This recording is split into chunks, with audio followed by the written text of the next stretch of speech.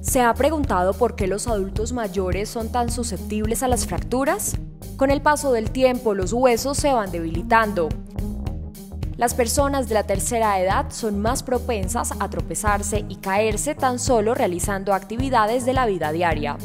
Cuando un adulto mayor se cae, existe una alta probabilidad de sufrir una fractura de cadera.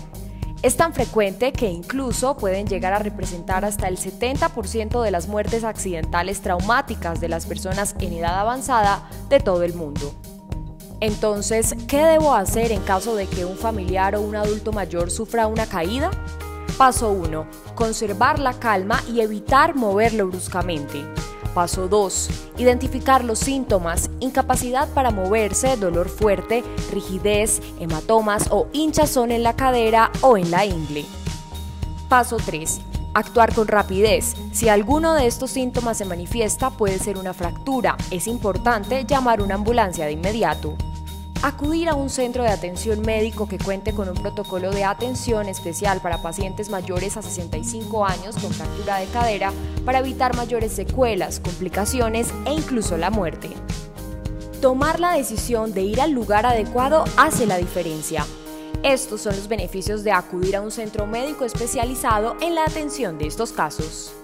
El paciente sería ingresado a cirugía en un tiempo óptimo, entre las primeras 48 y 72 horas, si sus condiciones lo permiten, lo que resulta fundamental para evitar complicaciones. Asimismo, habrá disminución de los riesgos de infección y otras complicaciones, como el tiempo de hospitalización. Profesionales con diferentes especialidades estarán a cargo de su cuidado desde el inicio hasta el fin de manera coordinada. Esto es importante ya que los pacientes pueden tener otras enfermedades crónicas y adicionalmente la fractura de cadera.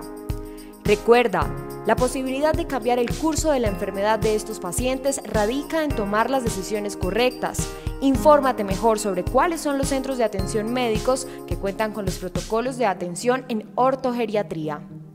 Comparte esta información con tus seres queridos para tratar correctamente las fracturas.